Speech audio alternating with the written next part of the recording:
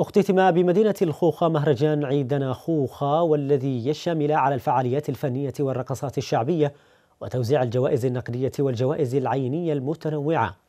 وأشار رئيس المهرجان علي المساوى إلى أن المهرجان استهدف احتياج احتياجات الناس من الترفيه ومشاركتهم فرحة العيد بفعاليات متنوعة من الغناء والمسرح والفعاليات المسابقاتية.